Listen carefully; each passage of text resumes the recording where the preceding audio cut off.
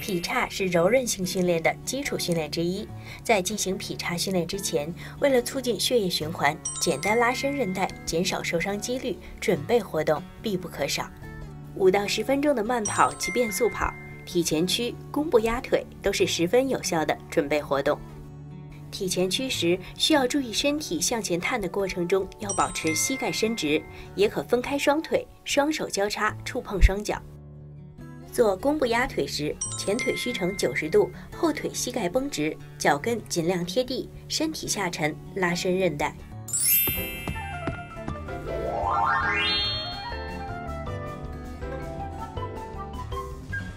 首先，我们开始教大家怎么做呃劈叉。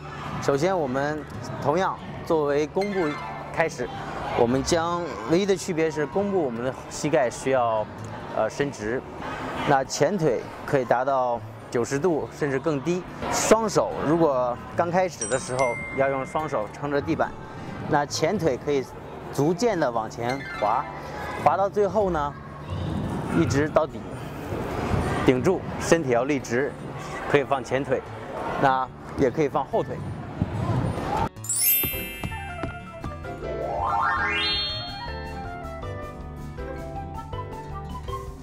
当我们做完压腿也好，还或者是劈叉也好，呃，我们需要做恢复训练，因为这样的话可以不容易第二天会很这个肌肉会很痛，这样可以得到一个很快恢复作用，也加强了韧带的这个拉扯跟这个伸缩的达到最好的效果。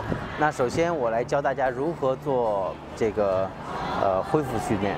那最好的恢复训练呢，就是说呃正踢腿。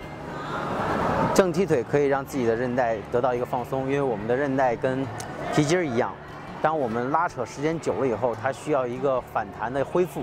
那压踢腿是最好的一个反弹、反弹的一个恢复的一个动作。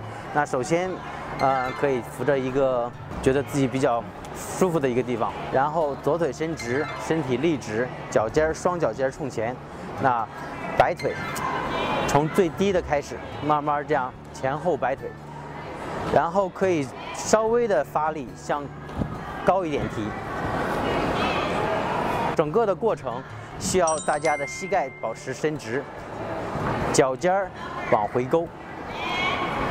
我们左腿踢完了以后呢，我们就要开始踢右腿了。那右腿是同样的动作，我现在给做大家做个示范。首先身体要伸直，背部也伸直，将右腿抬起，轻微的慢慢滑动，前后摆动。然后因人而异，可以尽可能的提高，达到这个韧带的最好的这个放松。